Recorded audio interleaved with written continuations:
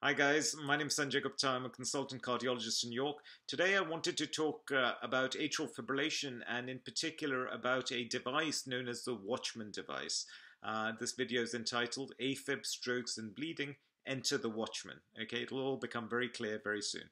The first thing to understand is that the big risk with atrial fibrillation is the risk of strokes. Uh, patients who have atrial fibrillation who are above the age of 65 who have diabetes or high blood pressure or heart failure or vascular disease or who've had previous strokes are considered to be at a much higher risk of strokes uh, when they develop atrial fibrillation. Um, the risk is uh, largely because in atrial fibrillation they, they, can, they think that there's more stagnation of blood within the heart and um, because the blood is stagnant, the blood can clot, and the clot can then get dislodged, go to the brain, and cause a stroke. And in these patients, it is uh, universally recommended that they are put on anticoagulants, uh, which reduce the clotability of blood and thereby reduce the risk of clot formation within the heart. Uh, the whilst anticoagulants lower the stroke risk by about 60%, the big problem with anticoagulants is that because they reduce the clotability of blood, they increase the risk of bleeding. And there are about, uh, of all the patients who have AFib and who need anticoagulants, 6% of patients have a very high risk of bleeding uh, before they start on the anticoagulant. Such patients include patients who have hematological problems. So they already have a problem with their blood, uh, blood, and therefore they already have clotting problems anyway. Uh, patients who have had previous life-threatening bleeding, so bleeds in the head, you know, life-threatening bleed elsewhere. Uh, patients who are at very high risk of falling, um, and also patients who are very compliant, very uncompliant with medications. So maybe they, they've been prescribed anticoagulants, but uh, you cannot be certain that they will adhere to the regime that they've been given, and there's a risk that they may, by mistake, overdose, etc. So there again, a real challenge because if you don't do anything, you're leaving them at a much higher risk of strokes, and if you do do something, then uh, potentially you could do them harm by prescribing them an anticoagulant. So in those patients, it's a real challenge just to know what to do. And thankfully, we now have a uh, alternative solution in these patients. And this is where the Watchman device comes in. The Watchman device is something that actually offers a, an alternative in such patients. So you don't have to uh, necessarily give them anticoagulants, but you can substantially reduce the risk of stroke. So the uh, first thing to understand is that we know that the most likely site for stagnation and clot formation within the heart is a part of the atria called the left atrial appendage. It's a beak-shaped structure uh, attached to the left atrium. And because it's beak-shaped, there's more stagnation there than anywhere else, and that's where the blood tends to form. And it would be a reasonable assumption then to make that actually if you could in some way uh, stop or exclude this area from the left atrium, block it in some way, then the clot could form, but there's no way the clot can get dislodged. And because the clot can't get dislodged, uh, you don't get the strokes. So if you could mechanically occlude or close off this left atrial appendage, then you have a wonderful solution where you're not exposing the risk, the patient to the risk of uh, anticoagulants, but you're also reducing the risk of strokes. Uh, and this is called the, and there is such a device which allows you to actually uh, exclude or block off this left atrial appendage, and this is called the Watchman device. Okay, the Watchman device is a self-expandable nitinol cage. Um, okay, and basically the way it can be inserted through a keyhole procedure, so it doesn't require open heart surgery. It can be inserted percutaneously. And I'll talk you through how it how we insert it. But this is something that uh, exists in five different sizes. It's made by a company called Boston Scientific. And basically the way you insert it is uh, remember every vein and every artery if you follow it uh, uh, if you continue if you pop a, a, wire into a vein and you push the wire up up up up up eventually it gets to the heart so what you can do is uh, um, you know, you can feel for a big vein in the groin, give some local anesthetic around it, puncture the vein, uh, and then through that uh, puncture you pass a wire and you push the wire under x-ray guidance all the way up to the right heart because the vein will feed into the right heart. Um, over the wire you can uh, insert this coiled up device so it's coiled up so you can just insert it all the way up.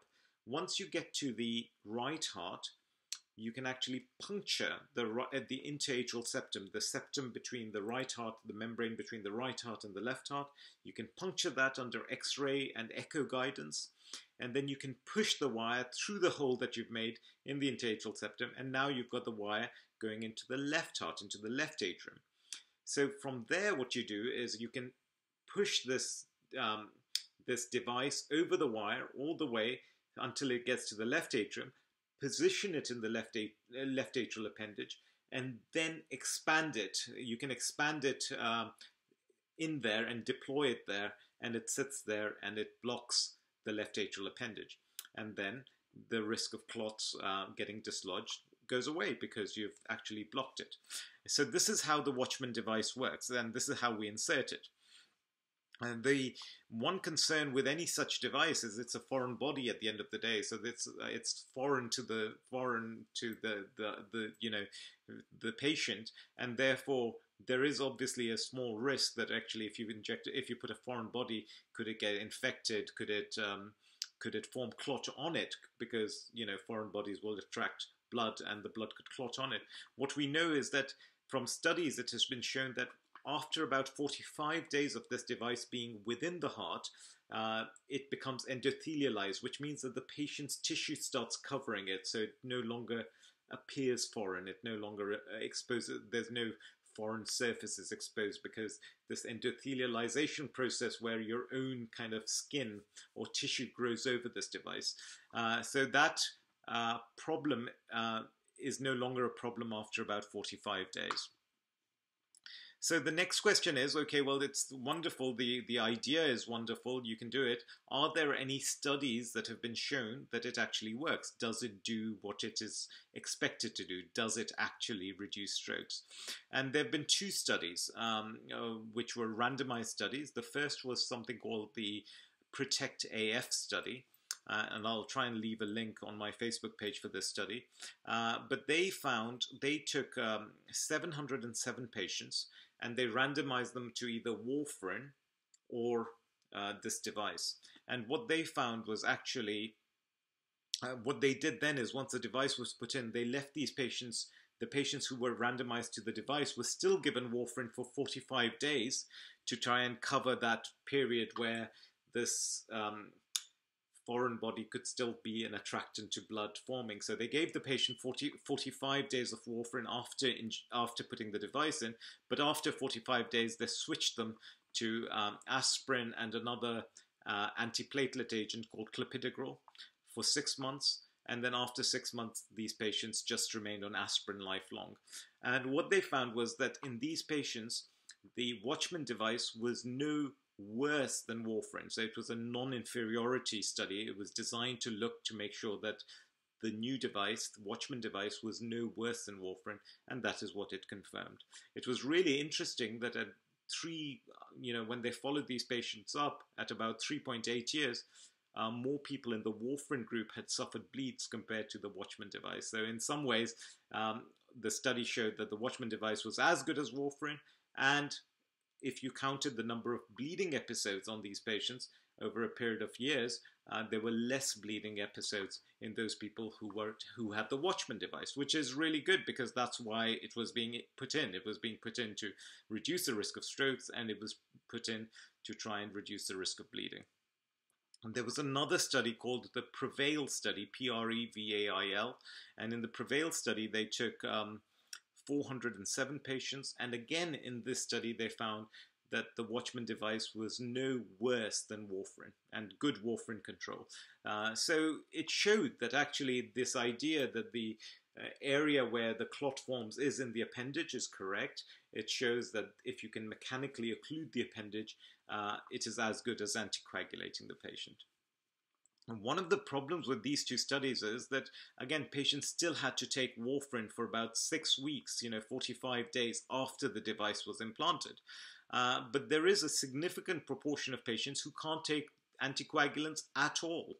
Okay, and in those people, you still have a challenge because you say, well, you know, it's fine, but the reason I'm doing it is because I'm worried about giving this patient an anticoagulant. It doesn't make sense that I put the device and give them the anticoagulant for a six week period after that. What if they bled from the anticoagulant in those six weeks? So, what we really wanted was the solution we really wanted was something which would not need anticoagulation at all. Uh, so, there was another study called ASAP, ASAP. And in this study, this was a non randomized study, they took 150 patients who had absolute contraindications to warfarin, so they couldn't have anticoagulants. And what they did was they gave these patients a Watchman device and they just gave them six months of two antiplatelet agents, aspirin and something called clopidogrel or ticlopidine. Um, and then after six months, they switched them to a single antiplatelet agent, aspirin, and they found that in these patients, they had much less uh, uh, strokes and systemic blood clots compared to those patients who would ordinarily just be taking aspirin or clopidogrel. So you remember these patients couldn't take warfarin anyway, so you can't compare them with patients who are on warfarin. Your alternatives are either leave them on aspirin or you put this Watchman device. And actually, if you put the Watchman device in and give them aspirin and clopidogrel for six months and then just aspirin, then these people had a lower risk of strokes compared to a, a, group of patients who don't have the Watchman and just, just left on aspirin. So that was encouraging. And then there's a final study, which was called the EWOLUTION study, which is a real world study. So these are all, you know, studies which are now looking at bigger numbers of patients to see what actually happens in the real world. And what they've found is that actually in over a thousand patients with a very high stroke risk, um, who are, and 60, 60% of those patients were considered unsuitable for anticoagulants. Um, they had the Watchman device, and in those patients, the stroke risk uh, fell by about 84% compared to historical estimates. So, in essence, the Watchman device offers a wonderful, innovative, and very effective solution uh, for patients who have a very high risk of bleeding but also have a high risk of stroke. The only problem with the Watchman device is the cost. And, uh, you know, until recently, um, uh, a lot of centres weren't being funded, but now I think the NHS have agreed and they've said that in the very high risk cases they would fund uh, the Watchman device, and I think in the coming year they're planning to put in about a thousand such devices in the in in the UK. So um, I think this is something just to be aware of, and if you have a relative or if you're someone who uh, can't take anticoagulants and therefore is worried about the high risk of stroke but can't take anticoagulants because of the risk of bleeding, it is well worth your while going and speaking to your doctor or a cardiologist about whether you would be suitable for the Watchman device, particularly now. Uh, because uh, some centers have received funding for this device. So, um, in my center, you know, my local center is Leeds, and Leeds are certainly beginning to do some. So this is, um, I hope you found this useful. I would love to hear what you have to say about the Watchman device and the video. And um, I, again, once again, thank you so much, so, so much for everything you do for me. I'm very, very appreciative. If you get a chance, um, do visit my website, which is drsanjayguptacardiologist.com. I've started putting a lot of stuff on there. So if you get a chance to watch that, and also I'd be so grateful um, if, if you find that this video is useful, uh, if you'd consider sharing it, I'd be most grateful. Thank you so much. All the best. Take care. Bye.